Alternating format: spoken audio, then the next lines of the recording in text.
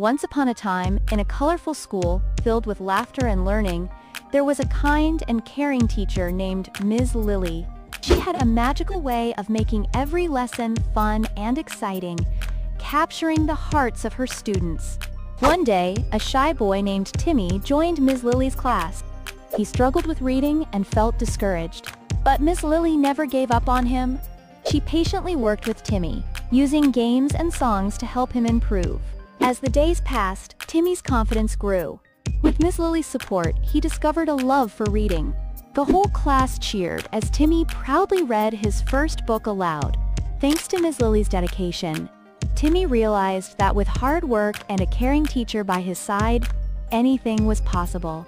And so, the power of a teacher's love and guidance shone brightly in the school, inspiring all the children to reach for their dreams.